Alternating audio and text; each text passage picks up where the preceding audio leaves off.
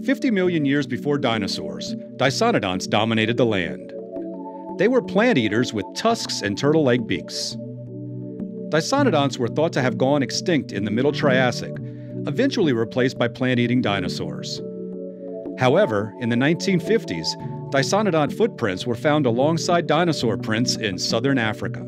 The prints were so out of place they were largely disregarded by paleontologists. New research has discovered fossil skeletal evidence validating the phantom prints and bringing Dicynodonts into the age of the dinosaurs. The fossils were actually rediscovered specimens collected in the 1870s by Alfred Gogga Brown. Brown was a recluse and a scientific outsider. He shipped specimens from South Africa to museums across the world only to have them ignored. Paleontologist Christian Kammerer found fossils among specimens Brown had sent to the Natural History Museum in Vienna in 1876. The fossils were described as a new species, Pentasaurus goggai, named in honor of their collector. This discovery not only extends our knowledge of ancient ecosystems, it also demonstrates the usefulness of trace fossil footprints and the importance of the work of amateur scientists like Gogga Brown.